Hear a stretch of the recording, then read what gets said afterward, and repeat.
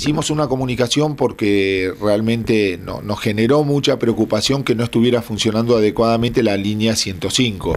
Y como todos sabemos, toda la línea, los números 100, 100, 101, son líneas que justamente al tener tres números tienen varios criterios esenciales. Son fáciles de memorizar para los vecinos, eh, son gratuitas, porque la emergencia no puede esperar.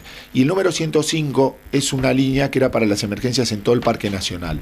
Eh, durante años, décadas, trabajamos en conjunto, lo digo en este caso desde el Club Andino, la Comisión de Auxilio, con parques nacionales, con el ICE y, su gente, con, con, el altísimo compromiso que tienen, y la línea para comunicarse era esa, y se la Digo, la comunidad sabe, hay afiches, desde el Club Andino se hace publicidad justamente reforzando esta línea y nos encontramos que llamábamos al 105 y hasta donde pudimos averiguar por un problema técnico nos atendía la, una secretaría de medio ambiente en Viedma y con el agravante que esa misma secretaría no sabía qué hacer con esas llamadas, ni siquiera a quién derivarlas nosotros averiguamos mucho antes de hacer la comunicación, lo que se nos explicó que era un problema técnico de la empresa.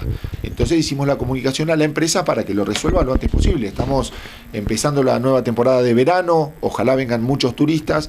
Uno de nuestros productos son las montañas, son los senderos en la montaña, es el trekking, son los refugios. Y ya tuvimos un verano pasado con una altísima actividad de, rescates, de perdidos, y este número es esencial. Entonces no podemos darnos el lujo que un número de emergencias no funcione. Actualmente cuando uno marca el 105, eh, ¿a, quién, ¿a quién se está dirigiendo? Hasta hace unos días eh, a una Secretaría de Medio Ambiente del gobierno de la provincia de Río Negro en Viedma. Digo, y ellos sin ningún tipo de información de qué hacer con esas demandas que recibían. Digo, incluso con este agravante, porque este, si por lo menos dijeran, bueno, llamen a este otro número, comuníquense de esta manera, la verdad que no había eso. Eh, nosotros lo que pedimos es que un número de emergencia que ha trabajado durante décadas, que la gente lo tiene en su memoria, esté disponible para la comunidad y para el turismo, que es lo que corresponde.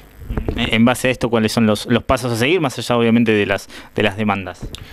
No, nosotros seguir insistiendo, nosotros tenemos, tenemos, somos optimistas y esperamos que, se asuma el problema con, la magnitud y la prioridad que corresponde y que tanto la empresa principalmente, donde creemos viene el, problema técnico, lo resuelva cuanto antes, así eh, la gente de, del ICE de Parques Nacionales, que, sabe qué hacer, sabe cómo atender, sabe a quién derivar esa llamada, pueda trabajar plenamente en lo que ellos saben hacer, que son las emergencias.